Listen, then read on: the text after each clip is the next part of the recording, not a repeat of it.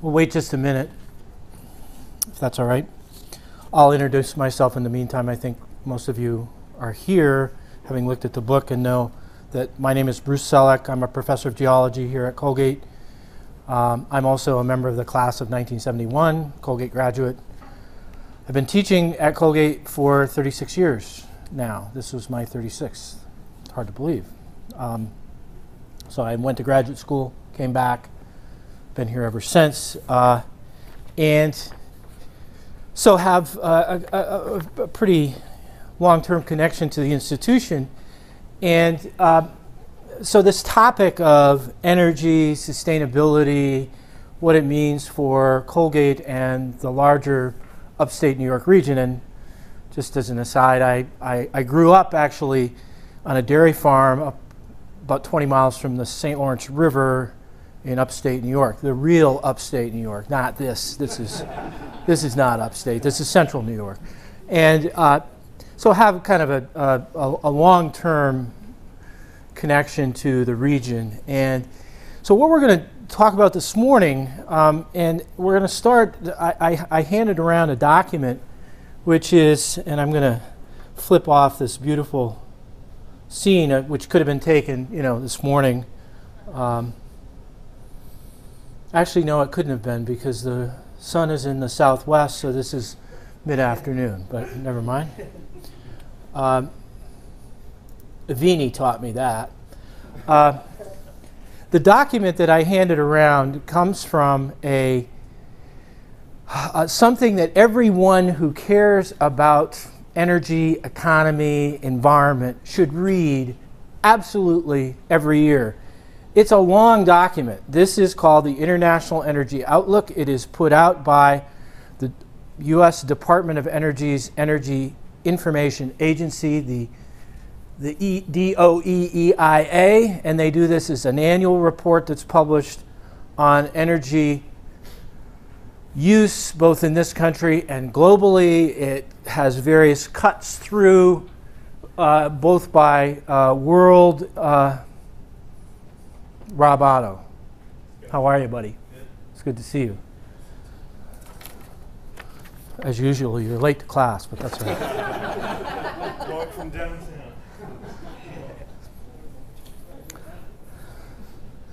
You made that, that walk many times late at night, right? Back in the day. and th th this is something, I, I, I, say this to the students in, a, I, I teach a course called, um, well, it's called Earth Resources, which includes uh, really about two thirds of what we do in that class is about energy and energy alternatives and energy sources. But this is a, a fundamental document uh, that I encourage students to become familiar with. And uh, what you have in uh, the, the handout that I uh, passed around, and I don't, John, how are you? Some more latecomers, but uh, that's all right. Uh, they don't get copies of the handout, so because I ran out. Yeah. Uh, but what I handed around is what's called it's the highlights, uh, and really this is a where the EIA does their annual forecast of U.S. and then global energy demand. And if you look at that first page, and this is okay, who, what is the EIA? Well, they are um, scientists, economists, uh, people who come from oil and gas, electricity, other energy companies, from utilities, from the transport, uh, uh, transportation Uh, uh, sector, and either as consultants or directly hired by the Department of Energy, prepare this annual report. Interestingly enough, because of budget cuts back, this is one of the areas that we're going to see less data availability, at least as quickly as it has been in the past. This, by the way, is it's a fantastic website to learn about in all kinds of ways energy and the way we can understand its flows, its sources, and past patterns, current trends, and uh, future projections. the topic that we're going to focus down on here in a few minutes is about Colgate and Colgate Energy and Colgate Energy Resources and its relationship to our regional uh, regional opportunities for energy development. Uh, but there, there, there is stuff in here which we all need to be aware of, even as we think on a scale as local as Colgate University in Hamilton, New York, and that is, and this is, I, I highlight this, I think, uh, again later on this is EIA's projections going forward to 2035, and it's hard to read in the back, but for those of you who have, you have a copy of the same thing. Um, this is total energy growing, and the total energy growth, uh, there's detail in here in their model based upon 2007. Now, this is the 2010. Richard Beck, how are you? How are you, Bruce? Good to see you. Um, this is their projection from 2007 moving forward that incorporates data, of course, from uh, more recent years and just trends forward. And in there is a total energy consumption globally. The unit is quadrillion BTUs, you know, uh, 200 quadrillion BTUs or quads. Uh, total energy consumption is to grow by about 50% between 2007 and 2035 based upon the best guesses, guesses, these really, really are estimates based upon current patterns and then regulations and policy. Very important to note that the folks at EIA who look at all the data globally have renewables growing at about the same rate or slightly less than the rate of total energy consumption. And you need to note that natural gas, coal, and petroleum liquids all grow at about that same rate or slightly more rapidly than renewables. This was done in uh, late 2010. They showed nuclear increasing by a smaller, at a smaller growth rate, but still increasing. That's an open question, as we all know, based upon what just happened in Japan the takeaway that I try to present to students, so you know kind of where we're going, uh, where I go with this a little bit up front, is no matter what you read in the papers or watch on TV, depending upon which TV uh, news input you watch or what uh, what web sources you, uh, you, you, you rely upon, we're going to be taking oil and gas and coal out of the ground for the next number of decades. We are highly dependent upon fossil fuels for our transportation sector, obviously. We are very dependent upon fossil fuels for energy generation in this country. Something on the order of about 70, 68 to 70% of our total uh, electrical energy comes from fossil fuel, mostly coal, although shifting to natural gas. So that's the backdrop uh, and what I'd like to do is, you know, folks, uh, I tend to get going on stuff, but please do interrupt me, ask questions, disagree with me, yell at me. Um, um, but, but the fundamental takeaway I have, and you know, I'm a geologist, and I think geology is important, and I think that students, it's important for students to take geology to understand how the Earth works. But it's also um, and I advise students, current students, don't turn your back on the oil and gas industry, the fossil fuel industry. It's going to be very lively for a long time. And um, the demographics of that industry in terms of the uh, folks employed in oil and gas, particularly right now, is very interesting because there are a lot of folks hired in the 70s in, in the, you know, in uh, the, the the first uh, Gulf oil crisis back in, in the, the 1970s, there was global uh, hiring of, of geologists, geophysics, geotechnical people, petroleum engineers. Most of those people are of my generation, and they're getting ready to retire if they've not always uh, uh already done so. And all the things that surround oil and gas. We'll talk a little bit about uh, gas shale and, and some of those issues later on. So that's, that's the kind of backdrop that I have for uh, this. And the, the other important, um, let me just, thing to note in this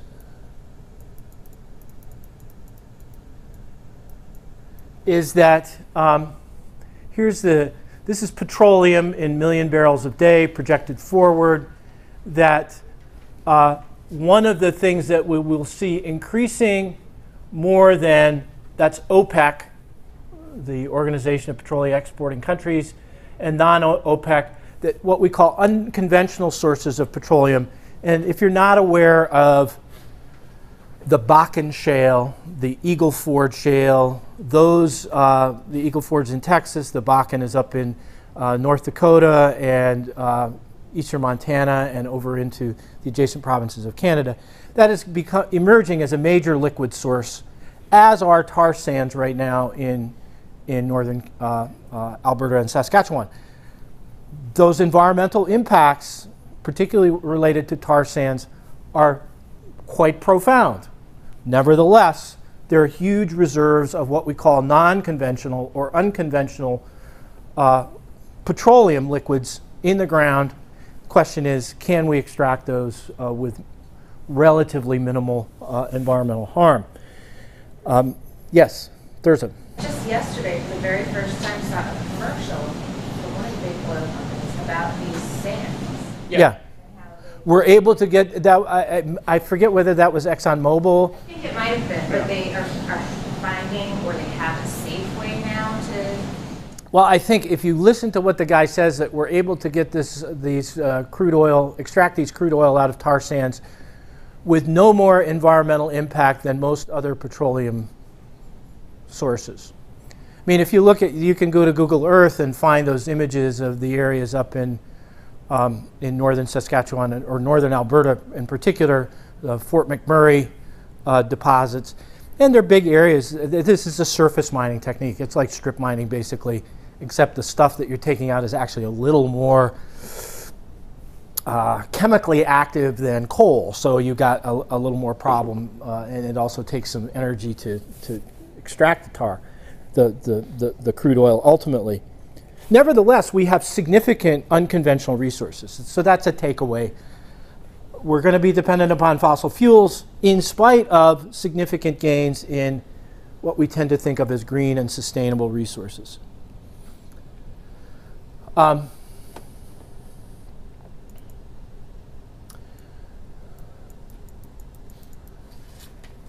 natural gas production will continue to increase, and we're going to talk more about that.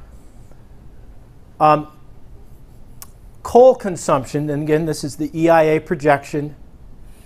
North America, rest of the world, non OECD, Asia. Third takeaway point yes, China is investing significant resources in hydropower and wind, and they are increasing at significant rates their energy or electric, uh, electrical uh, production capacity from those renewable sources. However, they are building coal-fired electric plants at a much greater rate. This is basically China plus India uh, and to a lesser degree the uh, South Korea and uh, some of the other Southeast Asia states.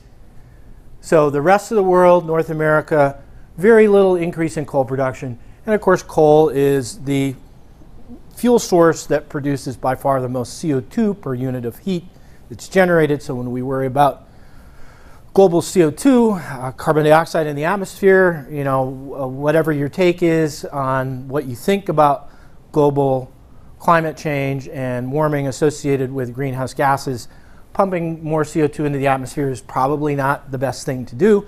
However, growth, economic growth will demand significant new coal-fired electrical sources, at least in, in our current understanding. So that's case three. So when people say, you know, China's doing all this wonderful stuff with wind power, yeah, but they're getting most of their energy, new energy from coal. And they're importing it from all over uh, the Pacific Rim, uh, particularly from Australia. That's why companies like uh, uh, BHP Billiton and Rio Tinto have significant investments in those fields. Um, this chart, and, and I'll, I'll stop this soon, but this is just net electrical generation by fuel. The purple bar here is coal, and it's just important to note that in terms of these projections over the next 25 years, coal will significantly grow. Um, this is growth in biomass, solar, and geothermal, excluding wind and hydropower. These are very small numbers compared to those others, but there are projections of significant growth. And again, I just want to say this is uh, when I give uh, the talks of this sort, I am not advocating this as policy for the future. This is simply projections that are made based upon current trends, past uses, and regulations and economic forces that are at play currently. People say, well, you're, you know, you're, you're a cheerleader for the oil and gas industry. And to some degree, I suppose that's true. But the reality is, um, fossil fuels remain a, will remain a significant energy source. Before you leave that chart, Yes. The green bar, they talk about, it includes several items. Biomass. Waste, tidal waves. Yeah. Uh, Is there any way to break those out in the green bar? There, I'm sure there is in detail in, in the report itself. Um, but uh, yeah, I mean, there, there are developments going on, and uh, you know, I'm going up to the Bay of Fundy later this summer to look at some of those in Maine, well, in uh, coastal Maine, and in Nova Scotia. Uh, geothermal is, uh, you know, there are limits. Uh, solar, there are limits. Um, right now, the big limit is, of course, cost.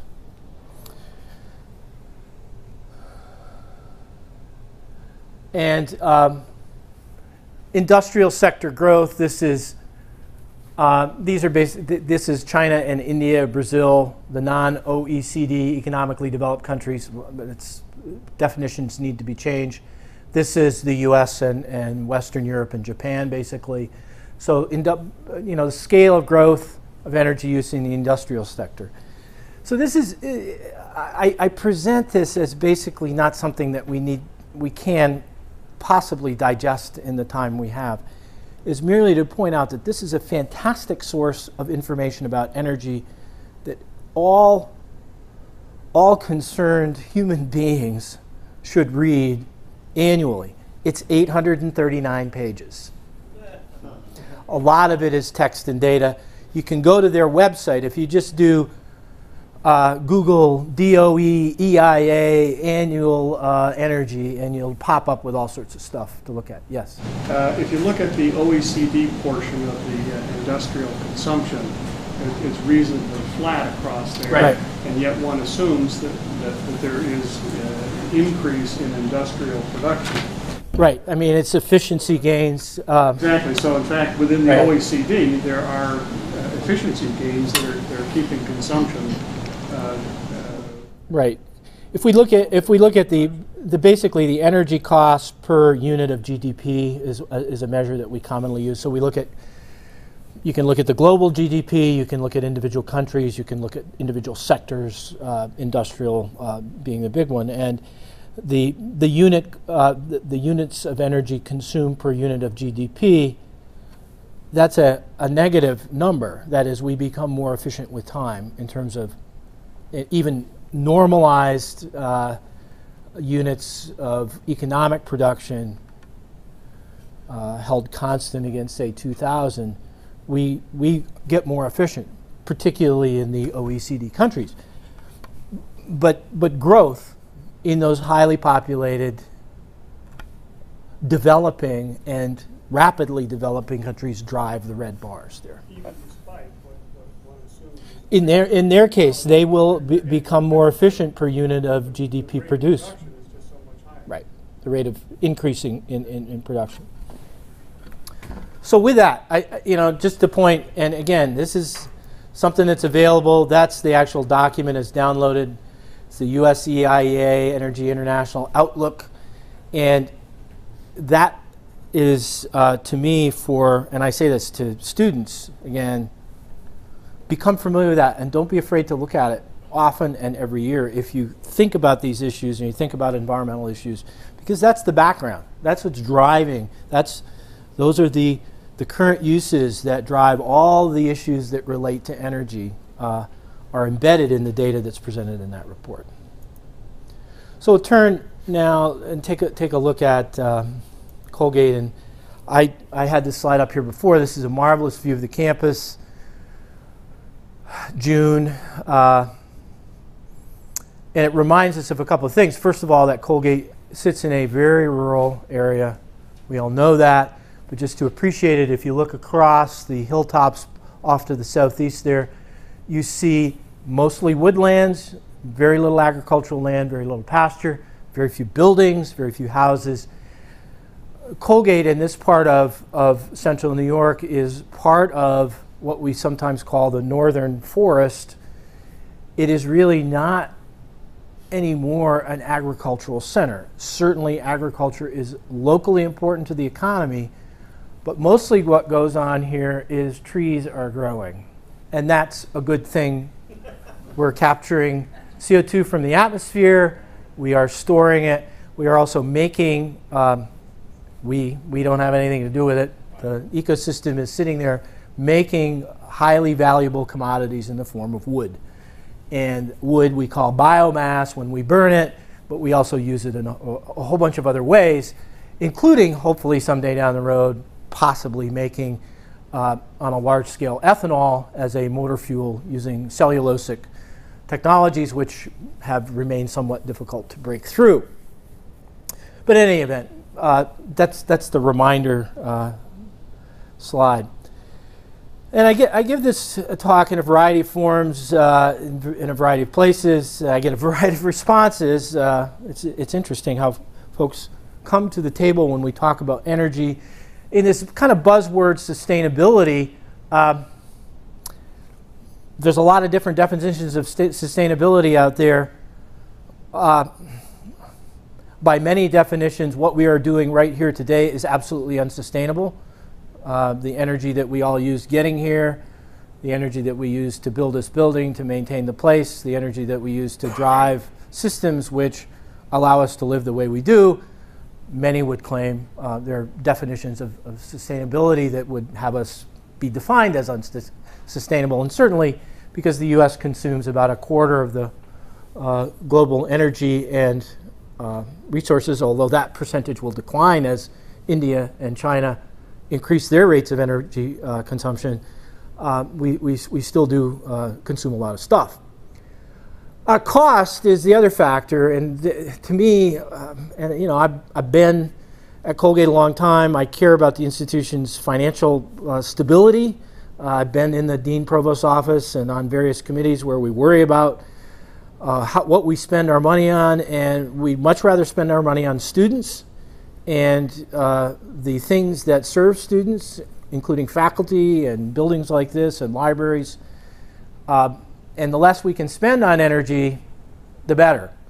So energy efficiency, but also what, how the mix of energy that we use to drive the campus, and how that might that those cost factors might be constrained is is is I come at it from if you can lower the amount of money you're spending on energy to the absolute minimum level, you're probably going to be using less energy and be some way closer to sustainability. I talked about this before, I'm just going to jump through it. Uh, fossil fuels, that's the takeaway. Um, we didn't talk much about natural gas and will a little bit, but uh, I want to say, I will say some more about natural gas at the end and, and talk about some of the issues related to natural gas extraction, what we ca call unconventional natural gas, including gas shale in the area. Um, if you're not familiar with Boone Pickens' stuff on energy, he's got a bunch of really good stuff, or there is a website that has a bunch of good stuff on his way of thinking through energy transitions over the next few decades. And I'm I'm a big proponent of really thinking through how we can transition, particularly in the transportation sector, from liquid fuels, hydrocarbon fuels, to natural gas, potentially to electricity, assuming that there are various kinds of breakthroughs on, along the way. We also need to think about how we're going to generate that electricity. And just by the way, I think abandoning nuclear power is stupid. Uh, it's got all kinds of hazards associated with it, but so does everything else that we do. So um, I think we need to be, and, and, and nuclear power, this is a cost competitive uh, sort of chart, how much, you know, things like offshore wind, solar uh, photovoltaic, solar thermal, in terms of sources of energy are relatively costly compared to many of the new uh, combined cycle and carbon capture or combined cycle systems that we can do with natural gas, where we're generating both electricity and we're generating steam for use in uh, heating buildings and so forth. But there are big concerns about nuclear.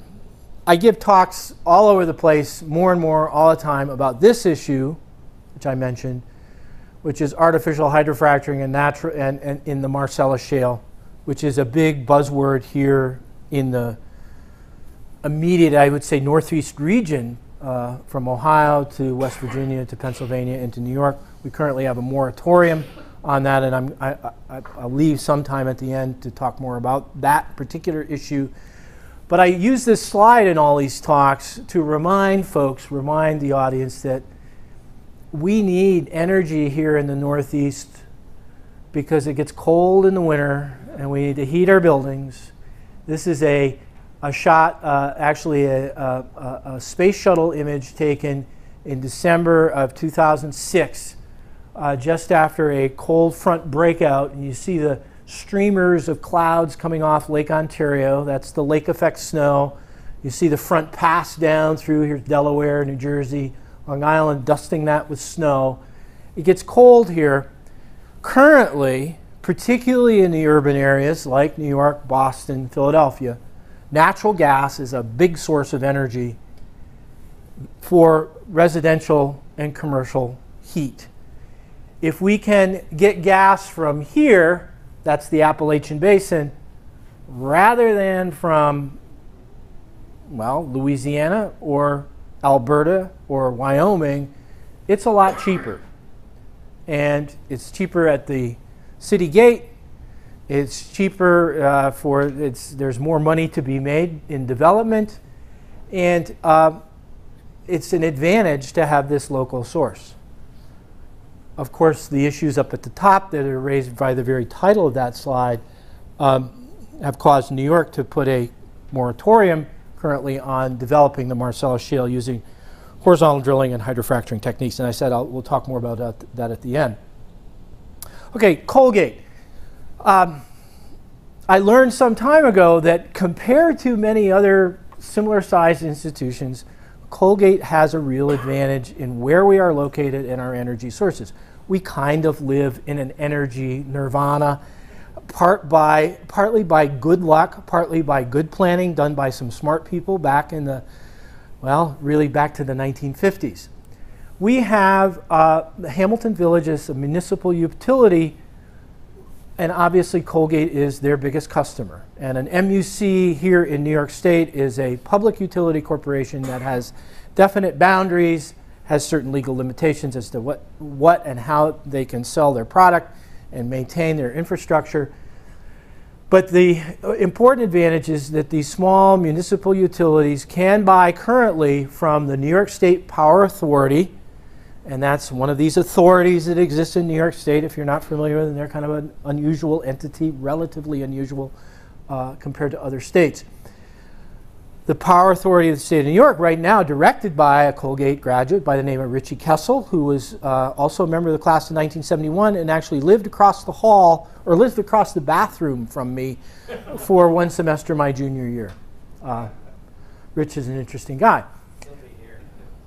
Uh, they, Colgate or the municipal utility gets New York State Power Authority electricity that is hydro, think Niagara and the St. Lawrence Power Development, nuclear, uh, basically the Power Authority buys nuclear power from the utilities that own the plants on the Lake Ontario shoreline. It also buys wind power, and it's sold back to municipal uh, utilities at in that case for the wind and the nuclear at a bit of a discount. So we get cheap power. It's about 85% non-fossil fuel. because of that. So when we do our calculation of carbon footprint, we have this immediate advantage that has really not so much to do with any policy decision that Colgate has made, that the institution has made. It's rather that um, we have this real fortunate kind of happenstance. The MUC came into existence in the 1950s, uh, short, uh, really shortly after the Second World War, and Colgate has been a, a very important partner in that, in particularly in terms of helping to maintain infrastructure and assuring that we're buying electricity so that the, the market uh, is there for the MUC. Um, but you know, like anything else, we're we're a a price depression in the midst of a rising tide of price, and so someday we're going to get flooded. Um, another uh, important thing that happened back in 1986 um, was that uh, then uh, it was uh, would have been Ray Creel and Austin Jerger. Ray Creel was then the treasurer. Uh, convinced the board and the president that we ought to move forward with a uh, a wood chip fired system. This was kind of unknown technology, at least at institutional scale. Uh, here at, at the level of colleges and universities, certainly big uh, paper mills and sawmills and those kinds of industries had been using um, uh, steam from wood chips for, for generation or a couple of generations.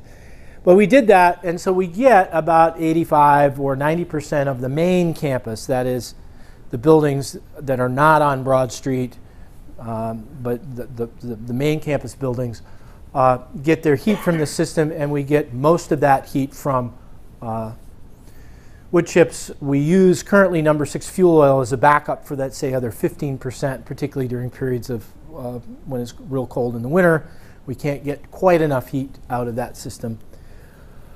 Um, we use number two fuel oil uh, to heat the basically Broad Street and the other outlying Colgate buildings. This, this difference, uh, if you're not aware of it, number six is stuff that you can, you know, you can reach into a barrel of number six at ambient temperature and pull out a handful. It's sticky, uh, noxious, pretty rich in heavy aromatics.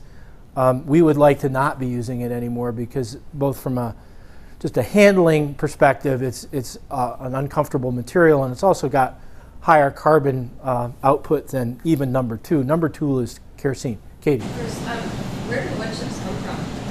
they come from local, or su- I would say sub-regional. That is within mostly within a uh, 30 mile radius. Um, and we actually have our director of sustainability, uh, John Pumilio, actually visits the sites, many of them.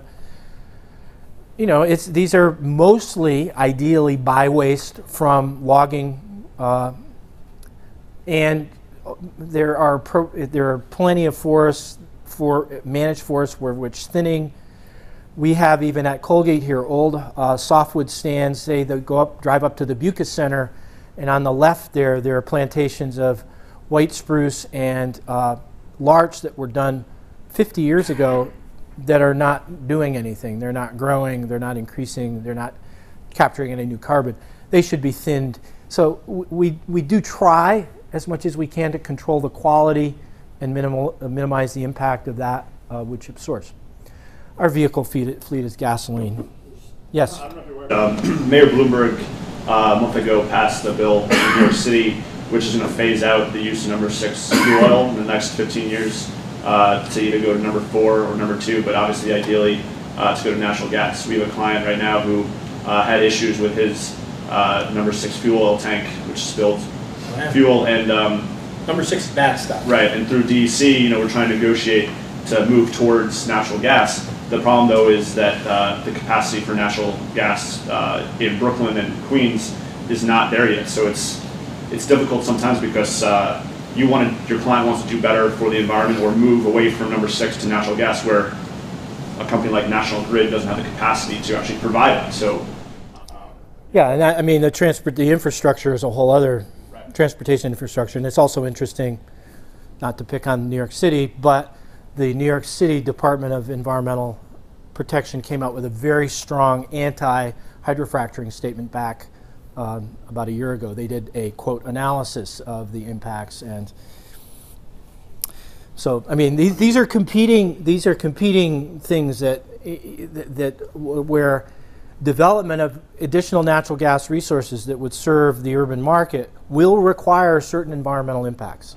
I mean, the, the AG's office just two days ago. filed- Right, Schneiderman's filed the, the brief on the Delaware River, uh, uh, uh, the authority, the Delaware Basin, Basin uh, Authority to, To require an environmental impact statement. Right. So it's, it's a, you know, these are competing goods and we have to keep our minds open and not take um, positions which will be, um, which shut down uh, discussion and shut, and I would also say shut down opportunity because I have some views about that too. Bruce, Yes. the municipal that you're dealing with here in, in Hamilton, are you using, uh, are you using more than is available through the municipal? Is- Are you buying incremental power? Well, at times, it- uh, the answer is no. Everything that we use in terms of currently electricity on the campus comes through the municipal, the Hamilton MUC grid. Agreed. But we are sometimes exceeding in the winter the capacity for the cheap power that comes from the, the, there is an upper limit to the amount of uh, electricity consumption that will assure that lower rate, and sometimes the rate does jump up. But each of the municipals was given a certain quantity back when the contract was signed. Right. Are we exceeding? Yes. Because we're, we're then paying the market rate for. Yes, and that's right. But that's not just Colgate, that's all of the residents. But it's a, but it turns out to be, right now, fortunately, a relatively small slice. So, yeah, we, we do jump once we exceed that, and that's seen in my electrical bill at. Any plan ahead of time to switch some of the vehicles to, uh, to help people? Not currently, but that's something I'd very much like to see, obviously. Bruce, uh, Yeah. a- a- as opposed to keeping an open mind, why doesn't Colgate take a position favoring uh, horizontal drilling? When we live in this Well, I economically mean, yeah, that's an depressed interesting area, question. Should we be, uh, Why which- why are we, you know, why are we, why are we being professorial? New York City's not being professorial, we? Yeah, but we're not New York City. I, I think my, my own view is, is, is very much, and I think that's important. Uh, My view is very much that we, institutions like Colgate on issues like this need to be sources of information, that individuals like me can take a position. I have a position that's well known. Um, but, uh, but, but for the university to take a position, a formal position on something like this, or say this issue that was around a few years ago with NYRI, the New York Regional Interconnect proposal. What's the, Colgate comes out with a statement that says, we support NYRI. Well, immediately we have some local and some segment of our alumni body who we pissed off. Didn't Colgate come out and support global warming? Or said that it was basically not supported, but Brian, good to see you, buddy. good to see you, but basically said the university now accepts global warming as a de facto. No, No, no, we we belong- belong to, we, we, there's no statement like that, that we belong to this thing called the President's Climate Commitment, which is a, and I'm, I'm gonna flip to the next slide because it's really germane to that, which has, we do these comparisons, we have a committee which does this analysis, and we're looking to reduce our carbon footprint. But this is, this is where we are right now, and I just want to point out that we're already, compared to all these institutions, except for Bates, and I think they're probably lying. That's all right. Uh, we're already have, as measured by all the traditional, you know, there is a, a set of procedures that you go through to, to, to track back this out of all your energy consumption, all your, actually all your programs. And we, we, we do very well. This is, to some degree, for Colgate, um, refractory. That is very difficult to reduce anymore because most of that involves just what you guys did yesterday or the day before. You came here by airplanes and, and, and, and cars, and that's how our students get here, that's how our faculty get here, it's how we go on study groups, it's uh, how we travel across the country for geology field programs. Transportation, actually, transportation fuel is our big source. And the question, moving to say, uh, compressed natural gas or liquefied natural gas for a vehicle fleet or even to electrical vehicle fleet for our local, say, on-campus vehicles, that would make a tiny bite in that. But as an, you know, from the institutional perspective, what do you do? You want to you want to have a uh, position, an institutional position that is we're about education, and that's what we're trying to do here. To take an institutional position that says we favor nuclear, or we favor wind, or we favor, uh, you know, saving turtles in Afghanistan. We may, as individuals or as, as subsectors of the campus, favor a number of those things. But I think for Right. west part of the state. economic, and we do. And a component of that is natural gas development. I agree with you 100%. But, but institutionally, you can be sure that there's some, con- and you, John, of all people, for crying out loud. Yeah, now, yeah, now you are, right? Yeah, all right, good. Well, me too, but I still have to kind of think about the, the other parts of this. So, yeah, I mean, uh, both, both of these points really come around to, from a policy or impact on policy perspective, should Colgate be doing this or that or the other thing? And I have to say, unless it's really something that we can have a meaningful impact on, or it really affects what we're doing as an institution in terms of educational programs, our ability to deliver our product, it's not a good thing to piss off a lot of people who might otherwise continue to support you. You know, think of some of the other things that we've done, John, that so, what are some alternatives that we're looking at, that we continue to look at? Um, increasing, I mean, our current wood chip system does not meet the uh, total energy demand. We've talked about adding wood chip, chip capacity. It's cheap still in this area. Uh, it's cheaper than any other energy source for, for, uh, for heat, for, for making steam. We have some small things of thinking about willow and thinking about switchgrass. I don't think any of those are going to uh, play out. It's going to continue to be the things that grow best here, and that's trees. Trees grow. Um, and we can do that sustainably. Um, solar, it's, it's not, it's not going to happen. And in any way that's going to impact. Uh, Bruce, before you Yes. move on, uh, with your reference to cogen, uh, you're talking about just the larger footprint of the plant or the larger footprint of the supply? Uh, The, the, the, the- yeah, the market to, to, to do syn to do a big and what do we mean by syngas? Most folks know, but you take the wood chips, you cook them, you produce a biogas, which is mixture of methane and carbon monoxide. You pipe that and hydrogen actually. You pipe that into a, a turbine. You generate electricity, with it and use the by steam, the, the steam that's produced as a byproduct, to heat your campus buildings. To do it on a scale here which is economical, we would need more than actually the campus because you, you need a, the, the size of plant required to make this economic would actually produce more than we would need. So you would need to look at probably supplying steam to maybe the hospital, the school, maybe some new industrial park that sits up on Preston Hill next, across from John's house there.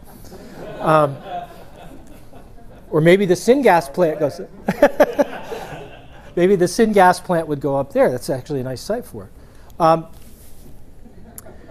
so yeah, I mean, and and it is the case that we have gone down the road thinking through some of those things, at least in a preliminary way.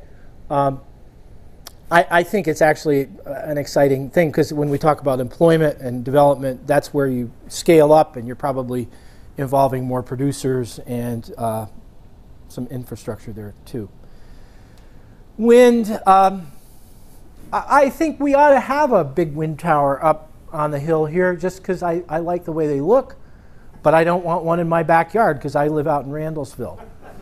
and that's the, that's the intersection of, um, We have had some wind power development. Those of you who go on the trip this afternoon, we're going to go up to the Fenner Wind Farm and just see the scale of those operations and what they look like. Um, you know, there's an option there. Uh, we've looked at, in a prelimin- very preliminary way, what we call uh, shallow geothermal. Uh, this is actually a possible, um, has some potential. I'd say it's modest for some of our small outbuildings. And you look at the real cost, if you compare number two fuel oil to um, shallow geothermal for, say, a building the size of, oh, the golf course, uh, the, the clubhouse at the golf course, it would make good sense, actually, right there, because we've got ground space to install shallow geothermal sources. You can't heat the campus with it. Uh, it hardly makes sense for any building that's much larger than that because of the scale issues. Um, You don't get any tax, I mean, Colgate's not for profit, so yeah, we don't get it. you don't get the one-third tax credit, which Makes it makes it Yeah. problematic. Yeah, exactly. So we- we have to factor those things in. And it's, you know, the, the big thing here is that electricity, the big cost for shallow geothermal is all electricity. Once you've made the installation, as electricity cost goes up, that in, it, this will increase electricity demand versus, say, heating all those outlying buildings with number two fuel oil. So, and that's an issue for our local school. What's your cost per kilowatt up here? Uh, it's, it's, it's, it's complicated, but any What? six, seven, eight cents, basically. That's the school, not you Yeah. and me. Yeah, not you and me. We pay ni, we pay nicer. Yeah, you're on NYSEG and so am I, so. What do you pay? Four times. Nine, nine, uh, we, we have night rate for a, Don't uh, complain. it's nine and then it's up to 12 and a half, 13 probably for the regular day rate. Yeah, I know. I mean, we're, as I said, we're still living in this energy nirvana. Where would we put things? Wind towers, I'm going to jump along here. Trillium Mountain, South Campus, that's up, uh, up on the top, basically above the quarry. And also the hills out by Bewkes Center are places that at least have been looked at preliminarily. But the real alternative that we have in this region, just to fold this back, is natural gas. Um, right now, there is a study, uh, the municipal utility has the regulatory authority to develop, to serve as a natural gas utility. The big potential, of course, is Colgate, the hospital, the high school, and then we have this small industrial park development on the north side of town out by the old airport or well, it currently is an airport, but that development, we have some IDA, Industrial Development Authority money, which has been helping us with that. Uh, we have the first phase study has just been completed. I just received it the other day. It looks promising. And basically, this would bring gas to the campus, natural gas. Right now, natural gas is, the prices are depressed. They're going to stay low for quite a while. I mean, I, there are people in the room who not, know a hell of a lot more about this than I do. But I, for all kinds of reasons here in the Northeast, irrespective of what New York State does with the hydraulic fracturing moratorium, I mean, New York State, at the end of the day, in terms of the Marcellus, is going to be a tiny little piece of that entire play. There's money to be made, though, for people who own property and who might develop that gas. Um, there's going to be some requirements of investment. Um, there will be questions. We, we've, we've been approached probably over the last 30 years, 10 or 12 times by uh, gas companies, mostly small companies, wanting to drill on Colgate property.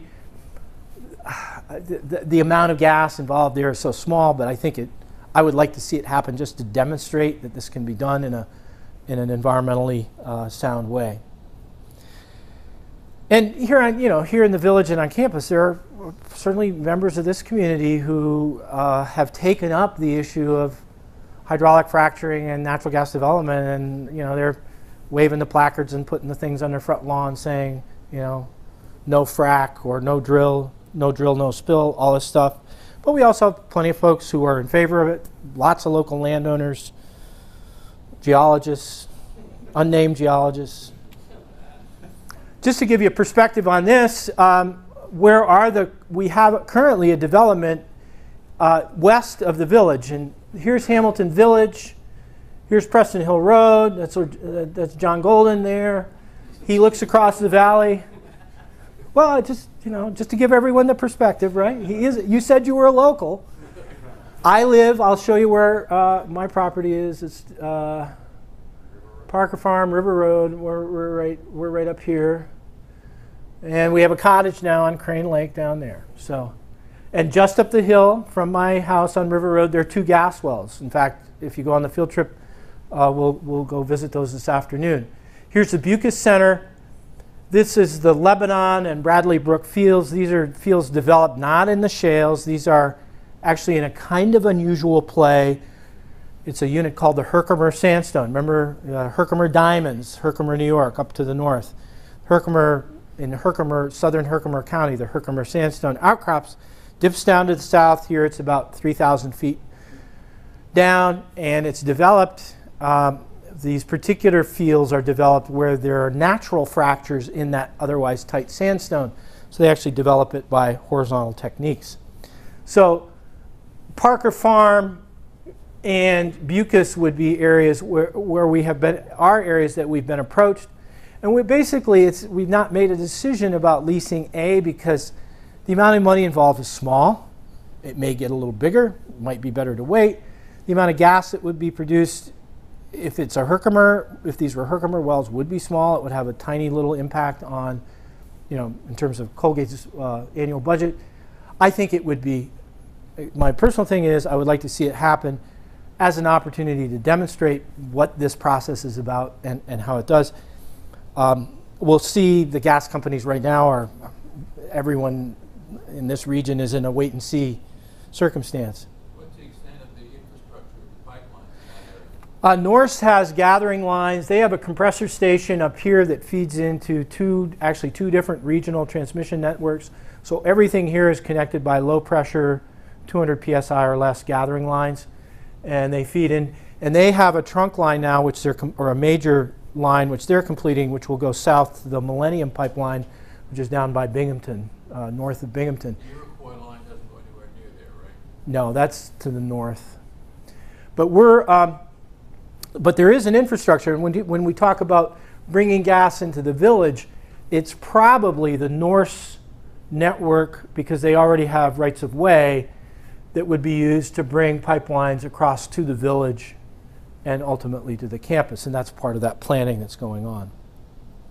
And there's just a cartoon just to show when I give this talk a well around here, not to scale, and that's very important. This is much thicker than it's shown here. The wellhead is much smaller.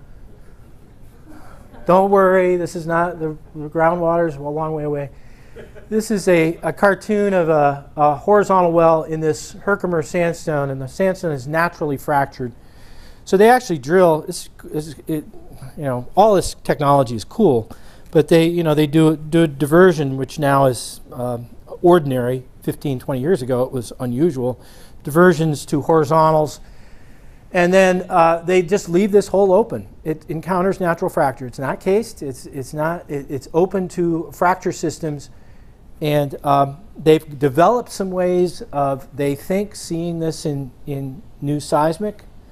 And they're really the only player in this, in this field. And this is uh, Colgate University.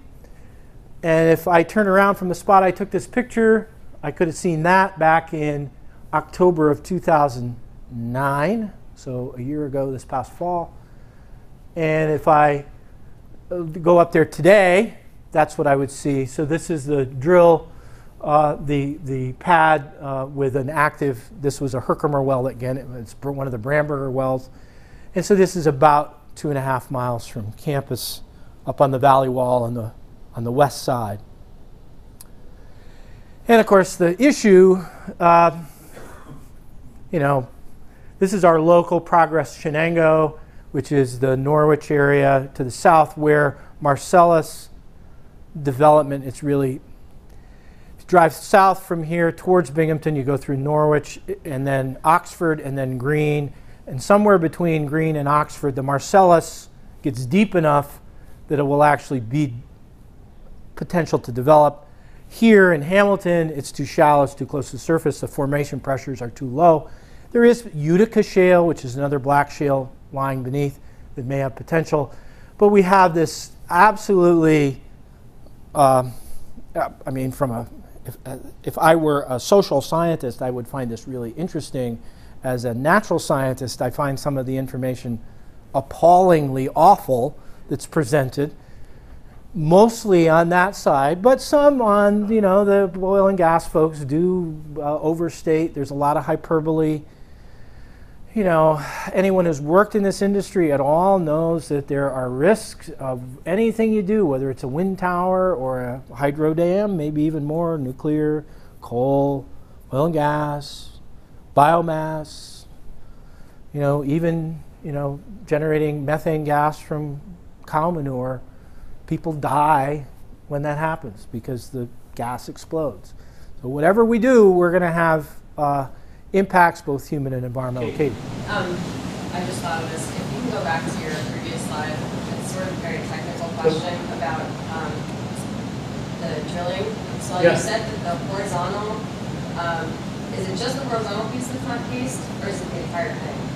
Oh, in, in, in one of these guys? No, it's just the horizontal section. Everything from basically, they only leave the open hole where there are fractures in the Herkimer.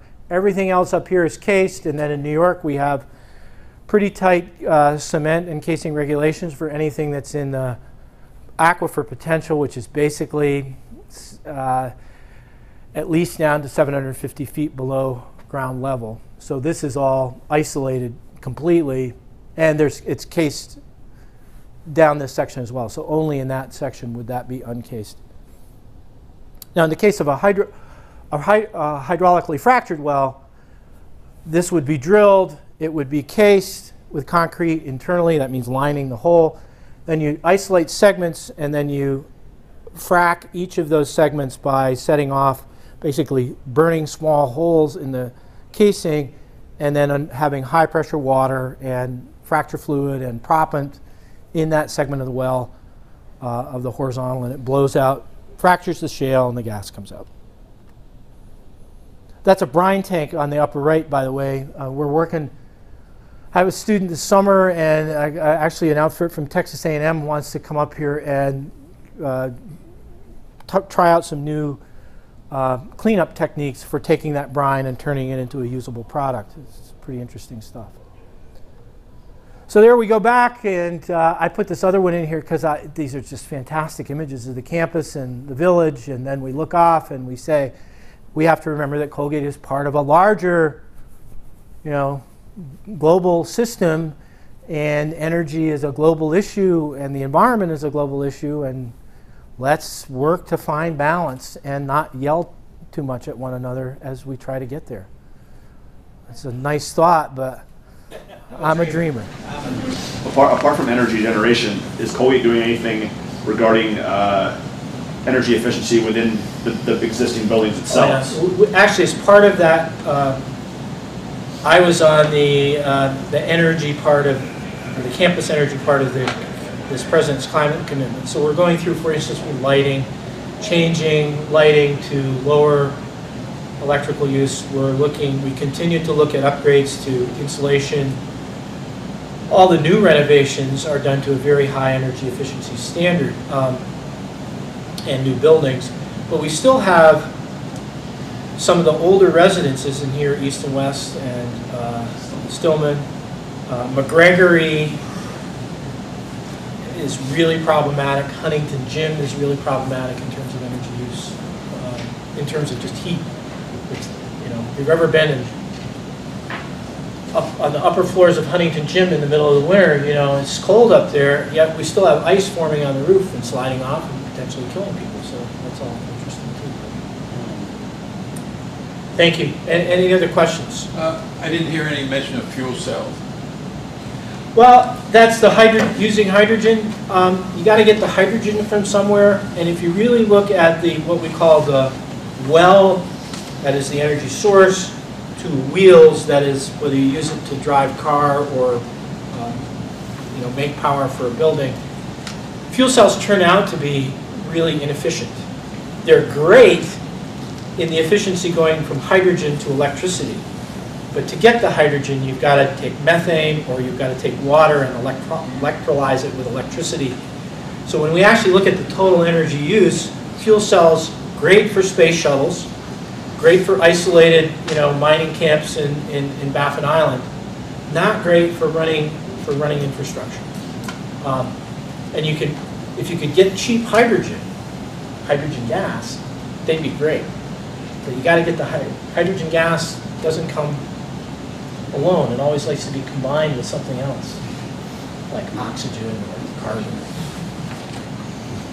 Okay, uh, if anyone wants to go on the trip this afternoon, um, what we're gonna be doing is, I'm just gonna pass this piece of paper, paper around, and I, I have in this van spots for 11 people. And anyone who wants to go is welcome. We're going to leave from, well, anyone who can get their name on that sheet before it reaches 11. We're going to depart from Hamilton down by the Student Union. It is a, um, we'll be gone for uh, the better part of three hours. We're going to go up and look at some of the wind farm. We're going to look at actually the, the solid waste, make a quick kind of drive by the solid waste facility at, uh, in Peter, near Peterboro. Fenner Wind Farm, we're gonna look at some Marcellus shale and talk about fracturing and natural fractures and hydraulic fracturing, there's a beautiful outcrop here. We're gonna go up and look at the gas well with a beautiful view back towards uh, Colgate, make a quick drive by the wood chip facility here. So people wanna do that, great. Um,